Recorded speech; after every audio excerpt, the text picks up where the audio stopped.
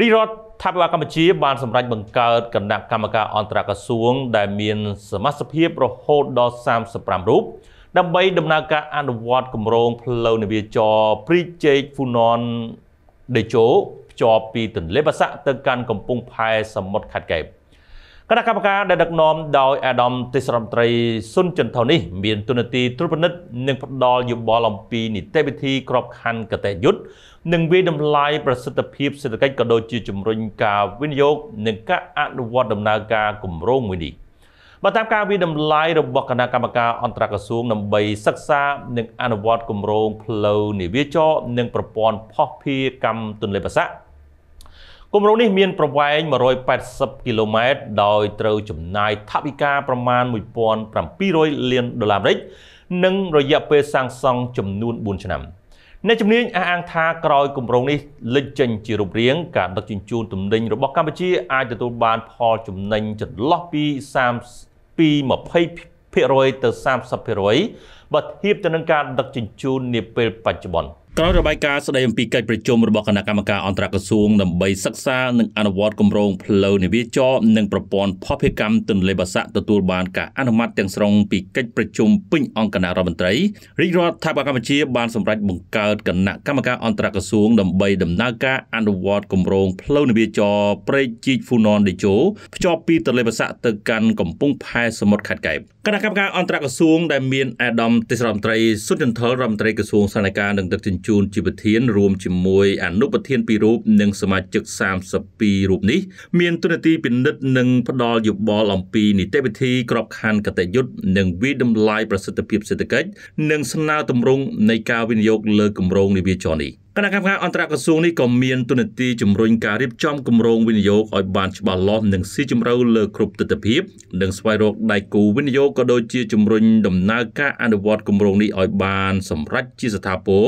ដើម្បីរួមចំណែកជួយពន្លឿនការអភិវឌ្ឍវិស័យដឹកជញ្ជូនតាមផ្លូវទឹកនិងផ្លូវសមុទ្ររបស់កម្ពុជាឲ្យកាន់តែមានប្រសិទ្ធភាពធ្វើឲ្យតម្លៃដឹកជញ្ជូនចុះទាបនិងធានាចីរភាពកំណើនសេដ្ឋកិច្ចជាតិផងដែរ អង្គការសិទ្ធិធីប្រធានសមាគមភស្តុភារកម្មកម្ពុជាបានលើកឡើងថារាជរដ្ឋាភិបាលកម្ពុជាបាននឹងកំពុងយកចិត្តទុកដាក់យ៉ាងខ្លាំងលើការអភិវឌ្ឍប្រព័ន្ធដឹកជញ្ជូនតាមផ្លូវទឹកនិងផ្លូវសមុទ្រត្បិតថាការដឹកជញ្ជូនតាមផ្លូវទឹកវាអាចជួយកាត់បន្ថយការចំណាយយ៉ាងច្រើនបើធៀបទៅនឹងការដឹកជញ្ជូនតាមផ្លូវគោកនិងផ្លូវអាកាស យ៉ាងណាមិញអ្នកជំនាញរូបនេះវាតម្លៃថាតាមរយៈគម្រោងផ្លូវនវាចរនិងផុសភាកម្មទន្លេបាសាក់ព្រែកជីកហ្វូណនដេជោការដឹកជញ្ជូនរបស់កម្ពុជាអាចទទួលបានផលចំណេញចន្លោះពី20%ទៅ30%បើធៀបទៅនឹងការដឹកជញ្ជូននាពេលបច្ចុប្បន្នលើពីនេះទៅទៀតតាមរយៈគម្រោងនេះវាក៏នឹងជួយសម្រួលដល់ការដឹកជញ្ជូនកសិផលរបស់ប្រជាកសិករពីខេត្តនានាមកកាន់កំពង់ផែសមុទ្រនិងជំរុញការអភិវឌ្ឍកំពង់ផែរណបនៅតាមបណ្ដោយដងទន្ន្លេផងដែរបន្ថែមលើនេះវាក៏ជាផ្នែកមួយក្នុងការរួមចំណែកជួយបម្រើដល់វិស័យទេសចរថែមទៀតផងតាមក្រសួងសាធារណការដឹកជញ្ជូនក៏ដូចជាអ្នកបច្ចេកទេសលោករកឃើញថាចំណេញផលចំណេញនៃការដឹកជញ្ជូនតាមផ្លូវទឹកនេះជារួម សរុបគឺយើងចំណេញពី20ទៅ31%បាទណាបាទការការការធ្វើផ្លូវទឹកនេះដែលផ្លូវទឹករបស់យើងទលេបាសាក់ទៅកែបដែលមានចម្ងាយ180គីឡូម៉ែត្រនេះបាទគឺយើងមានផលចំណេញច្រើនបាទក្នុងផ្លូវទឹកទាំងអស់បើយើងបង្កើតផ្លូវនេះទឹកនេះបានបានន័យថាมันគ្រាន់តែជួយតែត្រឹមទលេបាសាក់ទៅនោះនឹងទេយើងអាចអភិវឌ្ឍផ្សេងផ្សេងទៀតបាន ពីទលេបាសាក់ឡើងទៅដល់ស្ទឹងត្រែងទៅដល់នេះទៅគឺយើងថាផលិតផលទាំងអស់បង្ហូរតាមនឹងមកតាមកណូតមកមកមកចូលរហូតទៅដល់កំពង់ផែកពតកែបយើងតែម្ដងឃើញទេបាទអញ្ចឹងអញ្ចឹងពិតជាកាត់បន្ថយការប្រោះប្រាស់ផ្លោះថ្នល់បានច្រើនមែនតើ ណាបាទអញ្ចឹង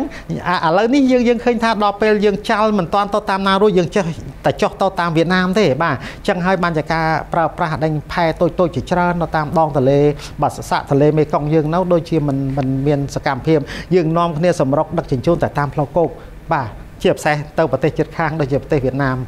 ឡាក់នឹងឡាក់ហ្នឹងឃើញថាយើងចេះតែនាំគ្នាប្រើតែផ្លូវគោកនៅពេលដែលផ្លូវទឹកនេះឡើងគឺយើង ចូលរួមប្រើផ្លូវទឹកហើយហើយបើផ្លូវទឹកតភ្ជាប់នេះឡើងវាកើតវាកើតអានោះវាវាកើតអាពីលើមកនោះអញ្ចឹងធ្វើឲ្យបើផែរណបផ្សេងផ្សេងរាប់រយ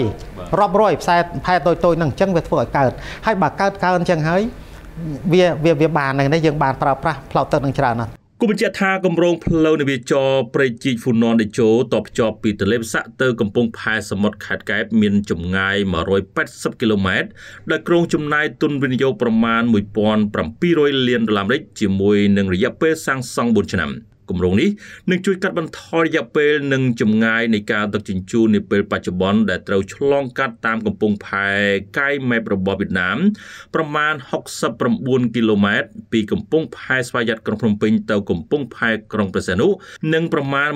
135គីឡូម៉ែត្រពីកំពង់ផែស្វយ័តក្រុងភ្នំពេញទៅកាន់កំពង់ផែខេត្តកំពតជាពិសេសវាជួយកាត់បន្ថយការចំណាយលើថ្លៃដឹកជញ្ជូនបាន16%បើធៀបទៅនឹងតម្លៃដឹកជញ្ជូនបច្ចុប្បន្ន បន្ថែមលើនេះគម្រោងនេះក៏នឹងជួយបង្កើតតំបន់ពាណិជ្ជកម្មនិងមជ្ឈមណ្ឌលភស្តុភារកម្មនិងការអភិវឌ្ឍផែរណបថ្មីថ្មីការពង្រីកតំបន់អភិវឌ្ឍកសិកម្មធារាសាស្ត្រវិរិយវប្បកម្មនិងការចិញ្ចឹមសត្វជួយគ្រប់គ្រងដល់ការអភិវឌ្ឍពលសេដ្ឋកិច្ចទី4របស់កម្ពុជា ជួយបង្កើតការងារបន្ថែមនៅកំពង់ផែស្វយ័តក្រុងព្រះសីហនុកំពង់ផែស្វយ័តក្រុងភ្នំពេញនិងកំពង់ផែផ្សេងទៀតជួយជំរុញការអភិវឌ្ឍទីក្រុងនិងនគររមណីយកម្មនិងជួយជំរុញការរីកចម្រើនផ្នែកអចលនទ្រព្យផងដែរ